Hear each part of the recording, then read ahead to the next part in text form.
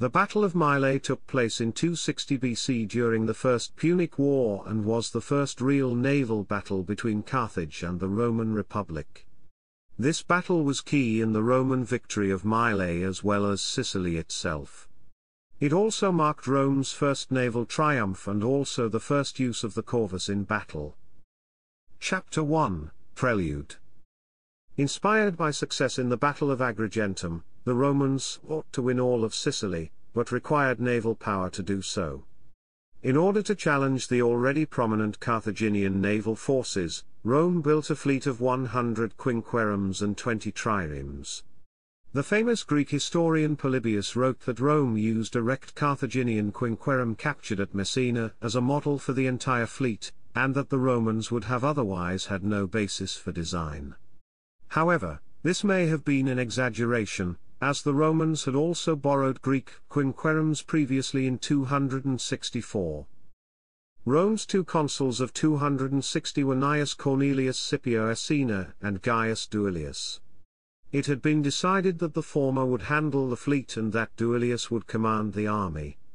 However, Scipio's first encounter with the enemy in the Battle of the Lipari Islands led to the loss of 17 ships and an embarrassing surrender to the Carthaginians under the general Senator Boodes and the naval commander Hannibal Gisco. This was the same Hannibal who had retreated after the conquest of Agrigentum, but not the famous Hannibal who would much later invade Italy during the Second Punic War.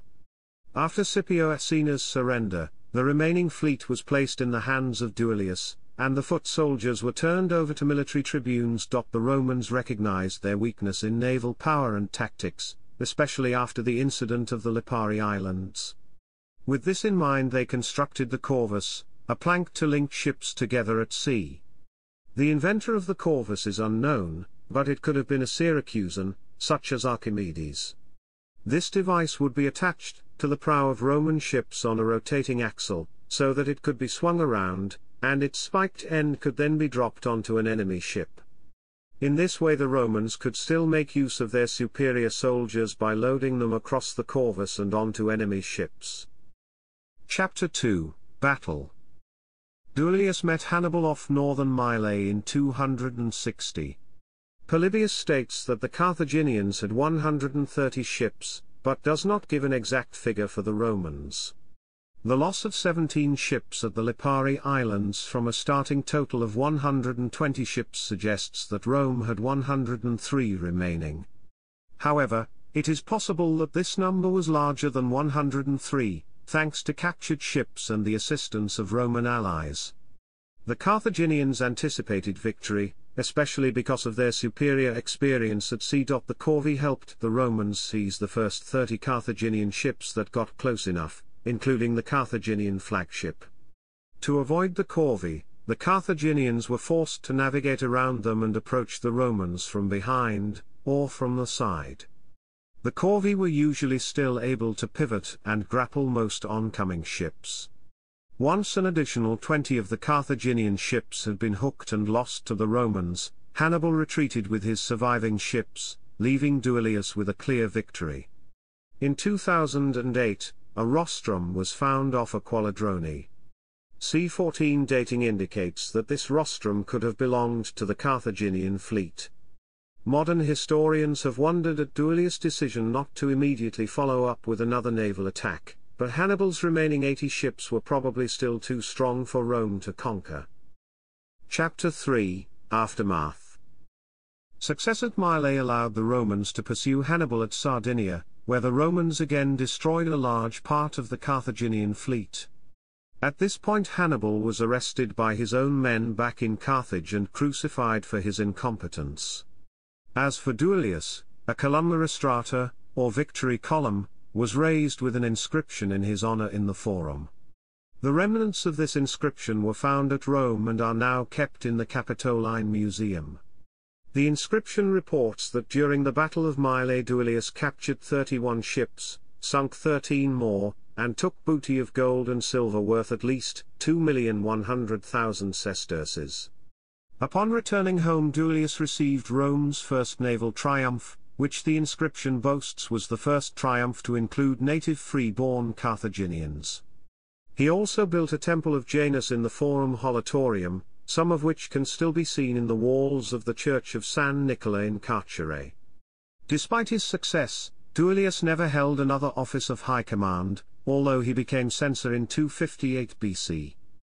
Chapter 4 Allusions In T.S. Eliot's poem The Waste Land, Part 1, the burial of the dead ends with the following passage. There I saw one I knew, and called him, crying, Stetson. You who were with me in the ships at Mylae. That corpse you planted last year in your garden. Has it begun to sprout? Will it bloom this year? Or has the sudden frost disturbed its bed? Oh, keep the dog far hence, that's friend to men. Or with his nails, he'll dig it up again. You. Hypocrite lecteur. Mon semblable, mon frère. Chapter 5 Sources Bagnall, Nigel. The Punic Wars, Rome, Carthage, and the Struggle for the Mediterranean. New York, St. Martin's Press. ISBN 0312 34214 4. Goldsworthy, Keith Adrian. The Punic Wars. Cassell?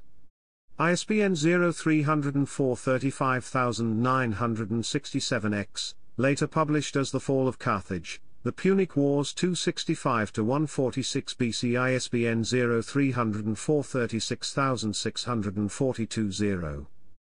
Dorey, T. A. D. R. Dudley. Rome against Carthage. Garden City, New York, Doubleday. Lazenby, J. F. The First Punic War, A Military History. Stanford, California, Stanford University Press. ISBN 08047 2674 4. Polybius. The General History of Polybius. In five books. Translated from the Greek by James Hampton. Third edition. Volume 1. London, 1772. 18th Century Collections Online. Gale Group. H. Warmington, ed. Remains of Old Latin. 4 volumes Cambridge, Massachusetts, Harvard University Press. Chapter 6, Links. Diorama in Scale 172, https colon slash slash www.youtube.com slash watch. V equals 6 mlgmh duva.